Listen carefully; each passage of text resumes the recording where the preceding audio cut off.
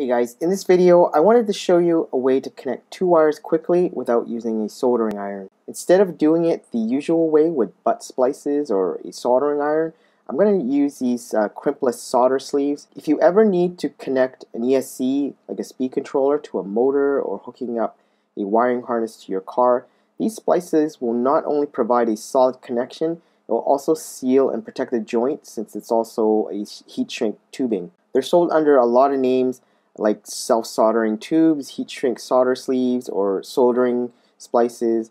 With these sleeves, you can easily connect two wires together with just a heat gun or a lighter, and the, the application for these are basically endless. These will offer a much more solid connection compared to the traditional butt splices which just hold the wires together with compression. The sleeves look like this. It's basically a piece of uh, heat shrinkable tubing with a ring of solder in the middle built in.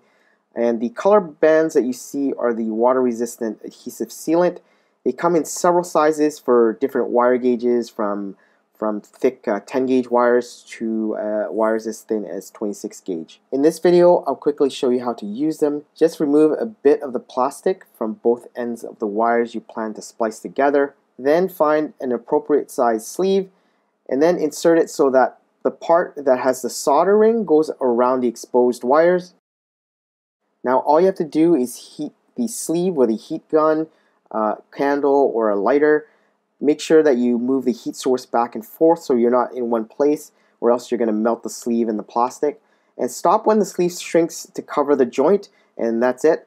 The joint is now soldered together and has a nice heat shrink tubing around it and it will also be um, water resistant. If you're not really good with a soldering iron, these self-soldering sleeves are a perfect uh, addition for projects around the house since they splice the wires together and they also protect them in one shot. So I got these sleeves from Amazon, but you can buy them pretty much anywhere online.